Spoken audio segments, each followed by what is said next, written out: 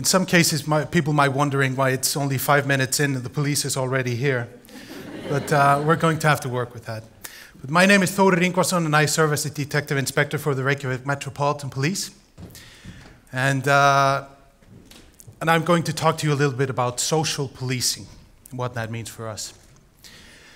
But I've been a police officer for 14 years now, and uh, I sometimes kind of wonder why people bother listening to me because I, I sometimes feel that I just graduated. But, but time has been moving so very, very quickly because I really, really love what I do. And uh, I think it has to do with the fact that policing revolves around people. It revolves around everything that people do, how they communicate, what they do, how they do it, and especially the communication part. And that's what I really love about policing.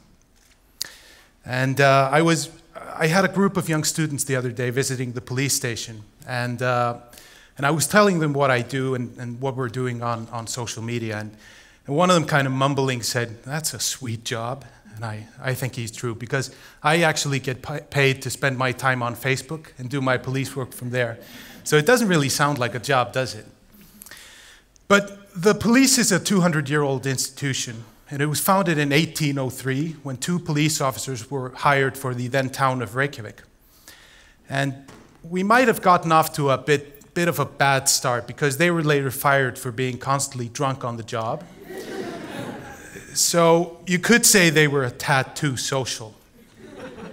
But it is sometimes forgotten that the police is one of the very foundations of the state itself, seeing that keeping its inhabitants safe is one of the defining factors of, of, uh, of if it even qualifies as a state.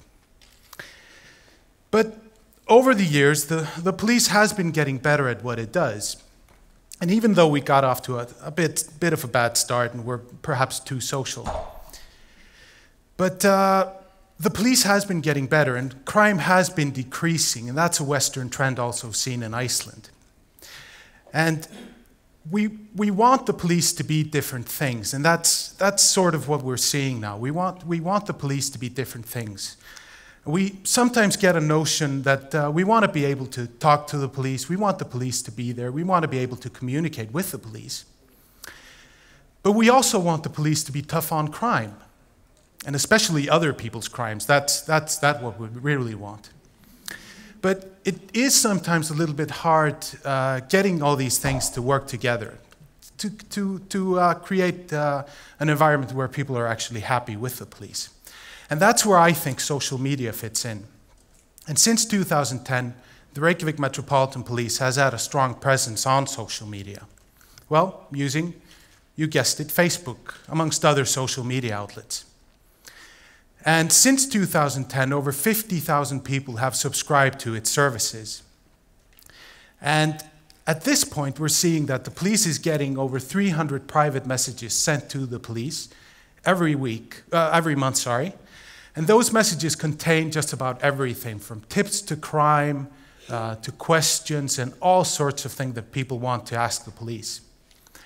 And now we're seeing that over 200,000 people on a weekly basis are getting the information that the Reykjavik police is sending out through social media.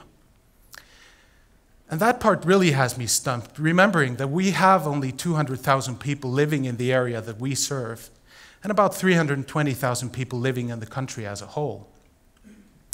But to give you some indication of what, what we're doing on social media, this picture you see here now gives, gives a small example. You see the, the friendly officer walking with the ducklings and, and uh, guarding them over the street. And we know that about 13 people witnessed this incident, and probably a few more saw the picture as a result. But in this picture, which we posted on Facebook in 2013, we know that over 27,000 people saw this picture. And that gives you a little bit of an example into how many more we can get our messages across to. And that's extremely important. But why do people want to be friends with the police on Facebook? And why would they want to receive all these things that the police is sending out? Well, I, I think it has to do with two major things. First of all, I think pe most people realize that policing is not just the police's job. It is a matter for us all. It is what all communities do. It is something that we all do all day. We like to keep our community safe. And that's why people love having the police there, being able to have that conversation in real time with the police. But I also think it has to do with the manner that we're sending out our messages. And using humor has always been a strong part in, in how we get our messages across. And I sometimes think of the, the words of the philosopher Poppins, who said that a teaspoon of sugar makes the medicine go down. And by using humor in the way that we put out our posts is very, very important and increases it dramatically how many people can actually see the posts and want to see the posts. But as a result, what, what has been happening is that more people are watching what the police is doing, and I think that's very, very important. Why is it working?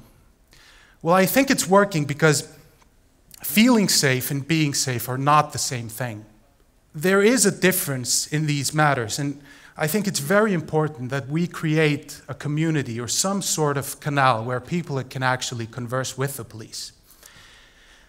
And it's not just a feeling that tells us it's working, because last year, over 47% of the people who did contact the police did so using our social media sites. And if we think about that for a minute, what does that tell us?